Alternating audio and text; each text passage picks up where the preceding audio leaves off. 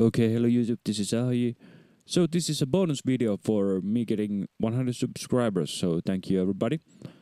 And um, this bonus video is an extension to the MIDI Learn uh, tutorial that I have, because uh, when I was checking through the Cubase manual and uh, browsing the internet, I noticed that uh, in the Cube Quick Controls you can only assign 8 controls, but uh, you know, at least my keyboard has like... Eight uh, rotator pods, and then it has nine faders, and then it also has these uh, playhead like play, pause, rewind, fast forward, uh, cycle, and r- record buttons. So I was wondering like how I can like uh, assign those. So I went uh, through the manual, and uh, you do it like this: you go to devices, device setup, and then on the remote devices you quick uh, click on the remote devices and then you press plus and then you select uh, generic remote. And I have the axiom here. And I made this uh, I made this template before. So here is the loop. I um, press learn and then I press that button. And then it's there. Actually looks like it saved all the things that I uh, set there and what you can do is uh, these are usually named something other. I think it sta- starts with fader one, and uh, so you can just uh, name this. Say this is the cycle, and then it also names it here.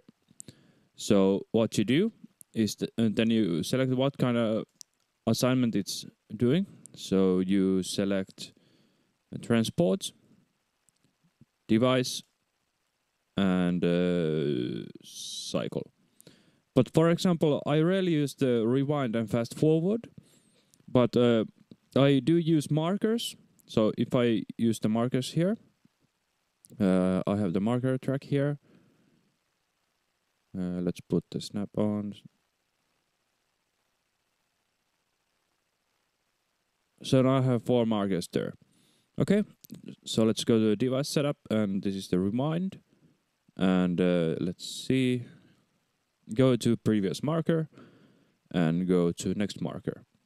And when I press them on my keyboard they are there. So that's basically if I would be recording so I have this empty track here. I'd say ah fuck that. Undo and then rewind and rec again. And basically that is how you set up the uh, quick controls uh, sorry, you actually can set up everything here. I have the faders here, I have the pan pots here, and then I noticed that uh, these program change buttons don't work, so I'll just remove them. And then I also have the pads if I want to assign them to something.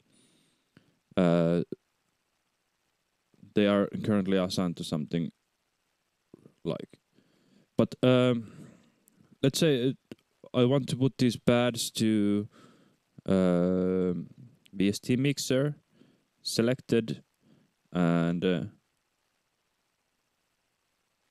let's put it to mute. Okay, and uh, let's put it to the empty track. Now, as you can see, it's uh, in some funny mode, so that when I let loose, uh, the mute goes off. So let's uh, change the how it works. So this is the pad one. So this is the toggle. And now it works just fine.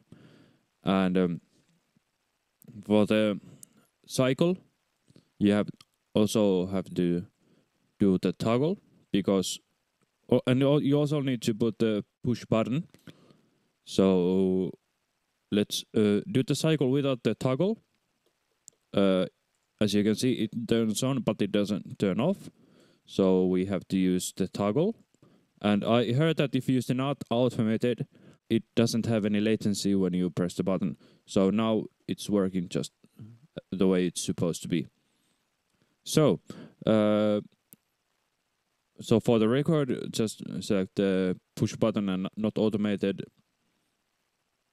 And uh, for the stop, actually I could try to do like delete instead because uh, I can just press play and it becomes a toggle, you know.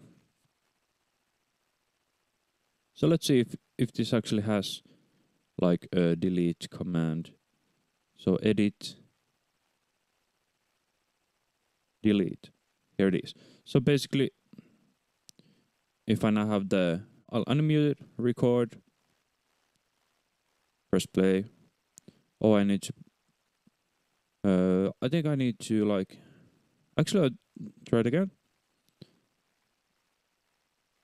Okay, I need to have the stop there also. Or I can just do that and then just press the stop. Yes, it works.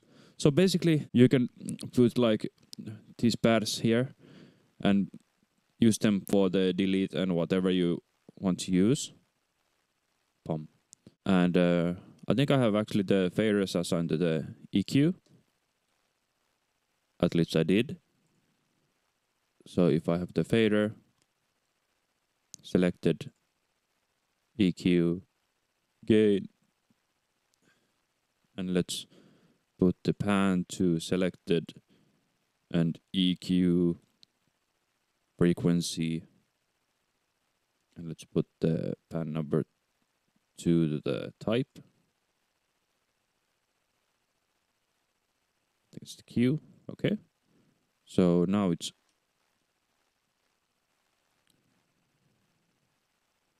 okay, and uh, this is this is the Q,